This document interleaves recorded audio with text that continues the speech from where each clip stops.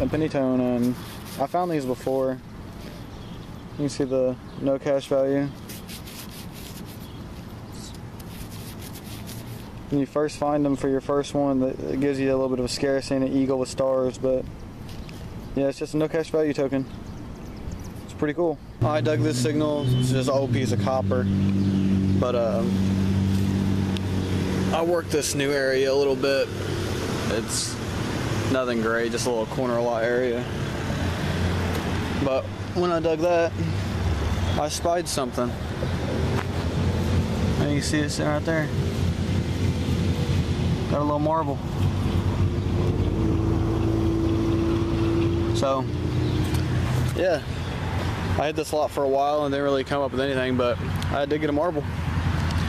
Alright, well, I'm gonna jump to another day. Tomorrow I'm gonna come out and dig for a while too, so this is gonna be all one episode. So, right after this, you're gonna see another intro. Hi everybody, uh, it is July 9th. Uh, I'm out actually with Kentucky Dirt Digger today.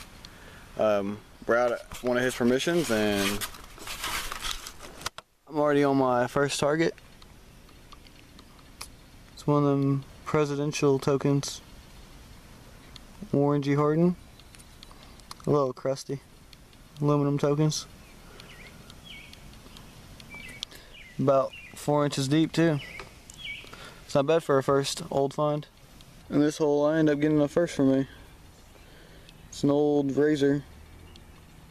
I've never found one, especially not complete.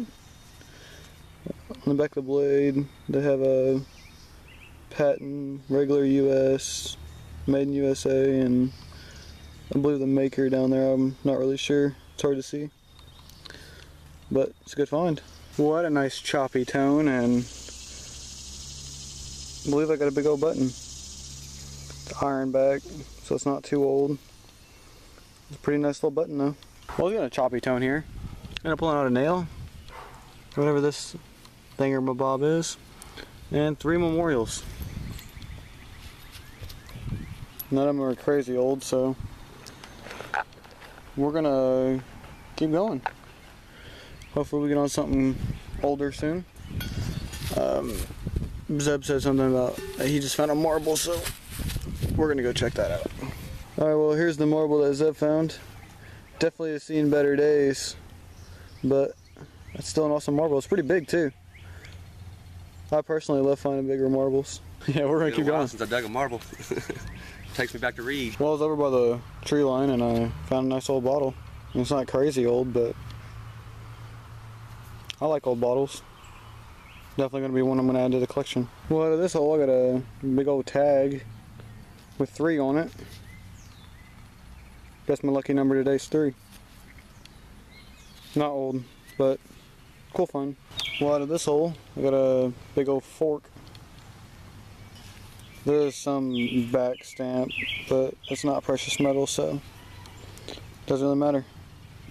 Big old fork. Well, welcome to today's wrap up. Um, it was a very interesting hunt. Let's see what we got here. Got a bunch of zincolns, a lot, a lot, a lot of coppers, five nickels. Got a clad quarter, WM Rogers and Son, 42, I believe.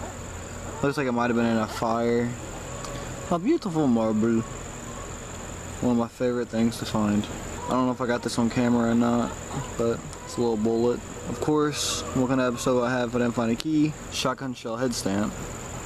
Not sure much about it, it's crudded. Got a big old tag with a three on it. Got a little iron back button. No cash value token. Got a presidential token. One kind I've never had before. First for me old school razor. It's made in the USA. There you go, you can see it. It's pretty cool. That's gonna do it for this week. Hopefully next week I'll have some trash to show you guys. I've been slacking a little bit. We're gonna get back into the groove and we're gonna get things going. So hope you guys enjoyed the video. Uh, hit the like button, subscribe if you haven't already, and I'll see you guys next week. Happy hunting.